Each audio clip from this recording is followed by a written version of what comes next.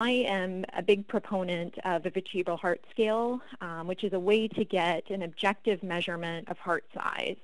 And to do this, you're basically going to get um, two measurements. You're going to go from the bottom of the carina to the apex of the heart.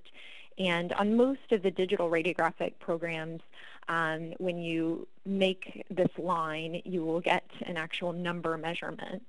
Um, so you're going to make your long axis measurement and then a line perpendicular to that um, for your short axis measurement and just make two lines of equal distance um, starting at the beginning of the fourth thoracic vertebra and, and count back from there.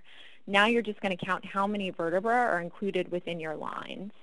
And so in this particular case, we've got about nine. Normal for cats is going to be anywhere from 6.7 to 8.1. So again, it's, it's great if you can get a subjective um, idea of the heart size, but this is a nice way to, to also get an objective measurement.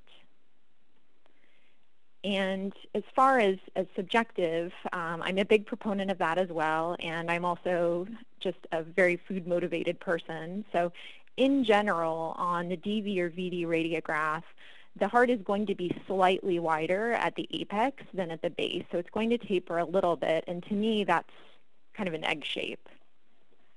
However, if we look at this cat, we see that the base is tremendously wider than the apex. So maybe somewhat strawberry shaped.